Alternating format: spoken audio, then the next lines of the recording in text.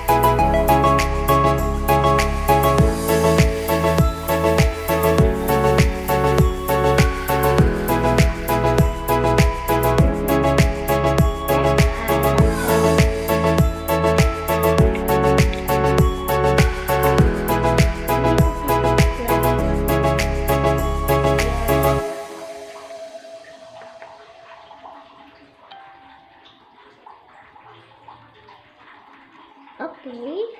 Next, ito ang impression toyo.